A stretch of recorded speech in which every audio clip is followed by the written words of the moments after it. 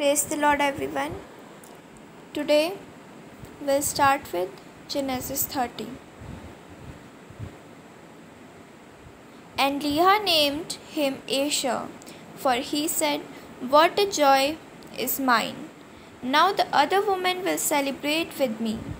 One day during the wheat harvest, Reuben found some mandrakes growing in a field and brought them to his mother Leah.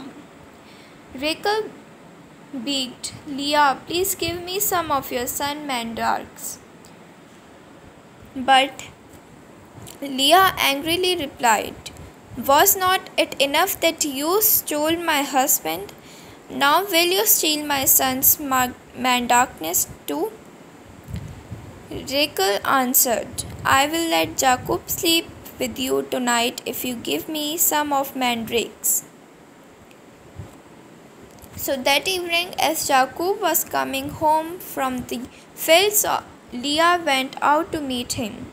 You must come and sleep with me tonight, she said. I have paid for you with some mandrakes that my son found. So that, that night he slept with Leah. And God, God answered Leah's prayers. She became pregnant again and gave birth to a fifth son for Jacob. She named him Issachar, for he, she said, God has rewarded me for giving my servant to my husband as a wife.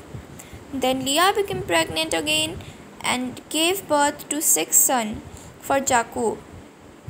She named him Zebulun, for he said, God has given me a good reward. Now my husband will treat me with respect, for I have given him six sons. Later she gave birth to a daughter and named her Dinah. Then God remembered Rachel's plight and answered her prayers by enabling her to have children. She became pregnant and gave birth to a son. God has removed my disgrace, she said, and she named him Joseph. For she said, May the Lord add yet another son to my family. Soon after Rachel had given birth to Joseph, Jacob said to Laban, Please relieve, release me so I can go home to my own, my own country. Let me take my wives and children, for I have earned them by serving you, and let me on my way. You certainly know how, how, how hard I have worked for you. Please listen to me. Laban replied. I have become wealthy for the Lord has blessed me because of you.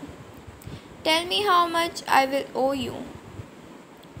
Whatever it is, I will pay it. Jacob replied.